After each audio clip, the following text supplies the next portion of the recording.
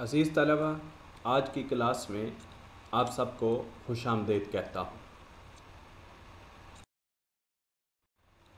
उर्दू लाजमी, साल दोम के इस पहले लेक्चर में हम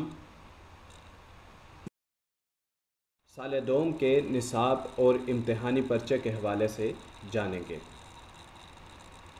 तो अपने मौजू के पहले हिस्से की तरफ़ बढ़ते हैं, जो साल दोम के निसाब से मुतक़ है। साल दोम के निसाब में सबसे पहला हिस्सा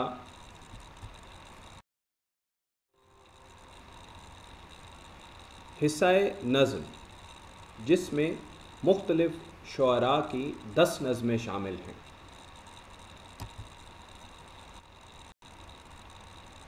मौलाना ज़फ़र अली ख़ान, हफीज़ तायब, अकबर इलाहाबादी अल्ताफ़ हुसैन हाली, जोश मली अहबादी, ज़मीर जाफ़री असरारहक मजाज, मजीद अमजद, एहसान दानिश और अनवर मसूद की मुख्तलिफ़ दस नज़में साल दोम के निसाब में शामिल हैं, जो मुख्तलिफ़ उनवानात से हैं। हिस्सा नज़म के बाद दूसरा हिस्सा जो है, वो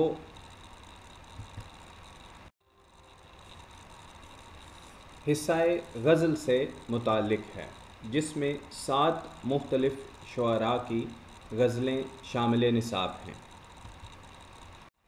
इन सात मुख्तलफ़ शुरा की बारह गज़लें शामिल निसाब हैं। इनमें ख्वाजा मीर दर्द, ग़ुलाम हमदानी, मिर्ज़ा गालिब, अलामा इकबाल, नासिर काज़मी की दो दो गज़लें शामिल निसाब हैं और फ़िराक गोरखपुरी और ताबिश दहलवी की एक एक गज़ल साल दोम के निसाब का हिस्सा है।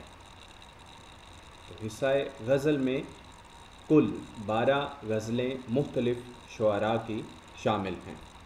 हिस्सा गज़ल के बाद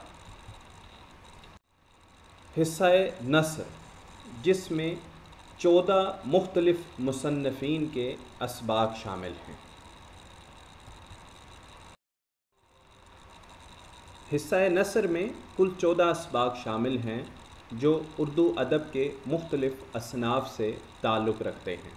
इसमें मजामी भी हैं, इसमें अफसाने भी हैं, शख्सी हाके, सफ़रनामे और ड्रामा, वो भी शामिल निसाब है। तो चौदह मुख्तलिफ़ मुसन्फ़ीन के मुख्तलिफ़ इसबाक साल दोम के निसाब में शामिल हैं, जिनमें शिबली नुमानी मियाँ बशीर अहमद, मौलवी अब्दुल हक, मोहम्मद हुसैन आज़ाद, मौलवी नज़ीर अहमद, नसीम हिजाजी, मिर्ज़ा अदीब, बेगम अख्तर रियाज़ुद्दीन, चराग हसन हसरत, इम्तियाज़ अली ताज, डॉक्टर हफीज़ुररहमान शाहिद अहमद दहलवी, इबन इंशा और रशीद अहमद सदीकी जैसे मुसन्फ़ीन के मुख्तलिफ़ इसबाक साल दोम के निसाब में शामिल हैं। हिस्सा नसर के बाद अगला हिस्सा हिस्सा ग्रामर से मुत है। हिस्सा ग्रामर में इमदादी अफ़ाल, मुताबकत के असूल, कवानीन, हरूफ का इस्तेमाल और रमूज़ अवकाफ़ का इस्तेमाल और पहचान से मुतक़ सवाल हिस्सा ग्रामर में हैं। हिस्सा ग्रामर के बाद साल दोम के निसाब में हिस्सा इंशा में मजमून नवीसी, खतूत नवीसी और आप बीती शामिल हैं।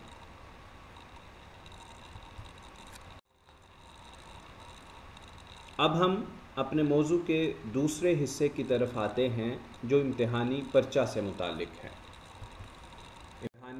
पर्चा में जो सवालात किस तरतीब और किस अंदाज से शामिल किए जाते हैं, इसको देखते हैं। इम्तहानी पर्चे में कुल आठ सवालात शामिल किए जाते हैं, जिनके कुल नंबर सौ होते हैं। सबसे पहला सवाल जो है, वो मारूज़ी से मुतक़ है, जो 20 नंबर का पहला सवाल है। इसमें नसरी इसबाक से मारूजी के सवालात कसीरतहाबी मंतखब किए जाते हैं, जो पाँच नंबरों पर मुश्तमिल होते हैं, इमदादी अफ़ाल, मुताबकत और हरूफ का इस्तेमाल, रमूज़ अवकाफ़ इन तमाम को मिलाकर जो है बीस नंबर का ये सवाल तरतीब दिया जाता है।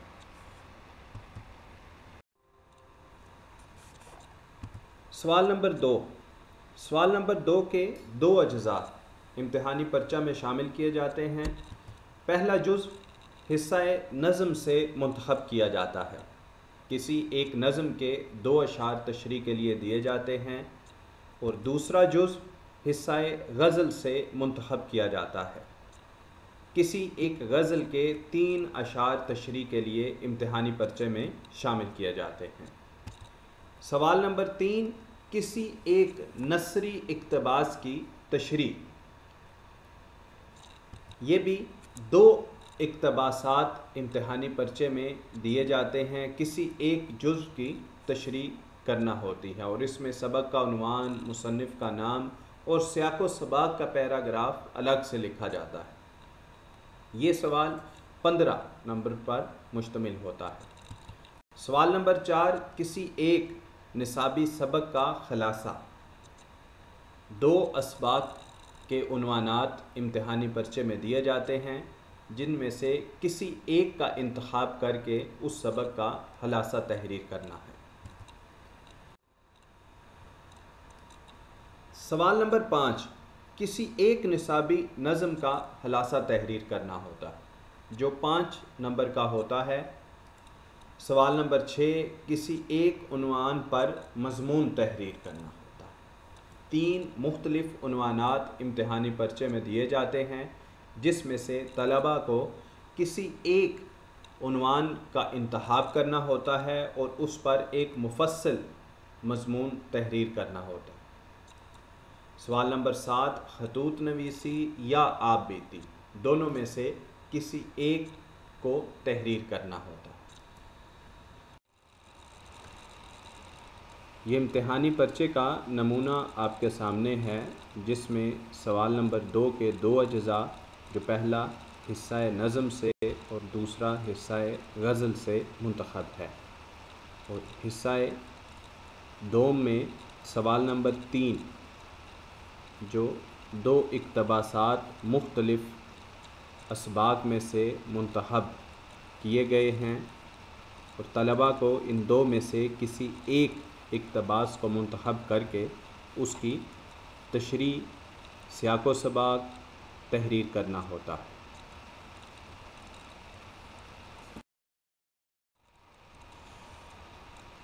सवाल नंबर चार आप देख सकते हैं, जो नसाबी सबक के हलासे से मुतक है। दो इसबाक के उनवानात दिए गए हैं, जिनमें से किसी एक को तलबा ने मंतखब करना होता है। सवाल नंबर पाँच किसी एक नज़म का ख़लासा। सवाल नंबर छः, मुख्तलिफ़ उनवानात दिए गए हैं जिनमें से तलबा को किसी एक उनवान को मंतखब करके उस पर एक मुफसल मजमून तहरीर करना है। और सवाल नंबर सात, मदीर के नाम ख़त, यानी खतूत नवीसी या आप बीती से मुतल सवाल सवाल नंबर सात में शामिल किया जाता है।